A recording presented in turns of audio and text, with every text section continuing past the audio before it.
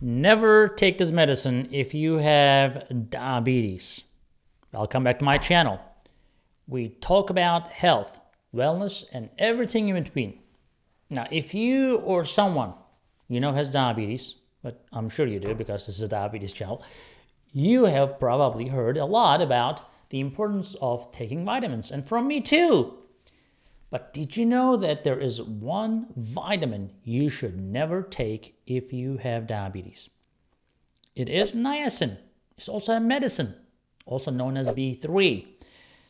While it has a lot of benefits for most people, for those with diabetes, it can actually do more harm than good if taking more than recommended dose.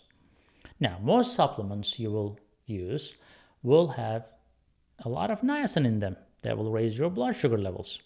In this video, we will dive into the reasons why excessive niacin can be dangerous for people with diabetes and how much is excessive and what you can do to make sure you are getting the right vitamins and minerals without putting your health at risk. So grab your pen and the paper. Let's get started. Niacin or vitamin B3 is a special vitamin that our body actually needs. It is found in many foods like fruits, vegetables, and meat. Sometimes it's even added to certain food products. And we can also find it in dietary supplements. When we eat foods with niacin, our body changes it into a helpful ingredient called NAD. NAD works with over 400 enzymes in our body which is more than any other vitamin.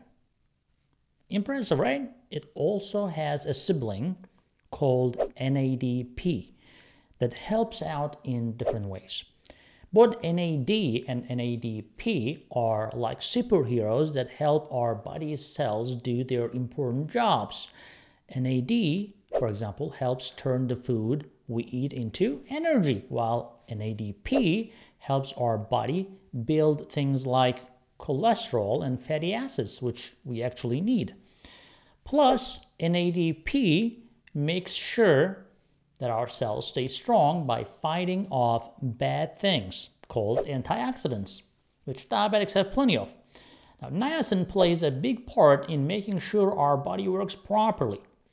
It helps our cells to function and keeps our skin, hair, and eyes healthy. But how do we know if we have enough niacin in our bodies? Well, scientists can check the niacin status of a person by looking at their urine. If there is the right amount of niacin related substances in the pee, then we know our niacin levels are good. But what happens if we don't have or don't get enough niacin? That is when we might start feeling unwell People with low niacin levels might feel tired, they may have bad digestion, or even develop red rashes on their skin. Yikes, right? It's super important that we keep our niacin levels good. Luckily, there are many yummy foods that are great sources of niacin, and some examples are, like I said, the meat, the chicken, tuna, turkey, peanuts, mushrooms, and even some, you know, cereals, but I don't recommend them. So next time you are eating your favorite meal, remember the niacin power in it.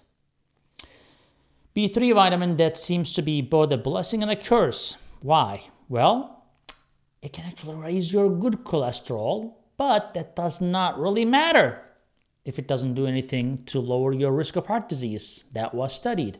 People used to take them a lot because it improves your good cholesterol. But when you improve the good cholesterol with a medication, it doesn't always help, such as in this case. So some may tout its benefits for people with diabetes, but the fact that it raises fasting glucose levels, which is a big problem for a lot of people. Maybe it is time we all take a step back and reassess our love affair with niacin. Or maybe we should just stick to getting our B3 from actual food sources. Just a thought, right? So be warned though, my friends, there is a fine line between getting enough of this vitamin and becoming sugar rush waiting to happen. So you will need at least 1500 milligram of niacin to lower your cholesterol levels. But if you are taking anything less than 100 milligram a day, you should be safe. So if you're taking more than 1500 milligram, you will be in trouble, even more than a thousand sometimes. Personally, I don't even like 500 milligram niacin. My cutoff is 100 milligrams a day. So go for and enjoy your oats, your nuts, your poultry in moderation, just like any other healthy food, right? And if you're on SugarMD Diavitamin, you are even in a better position. You know, at sugarmds.com, people love it, people buy it, and they feel more energetic, and they love it. And it has a little bit of a niacin so that you don't go overboard. But until next video, let me tell you, I love you all. I'll see you in the next video. Hey guys, I hope you're enjoying this channel so far and I hope you subscribed already. If you didn't, do it. And if you did, watch this video right there. I think that will help you too.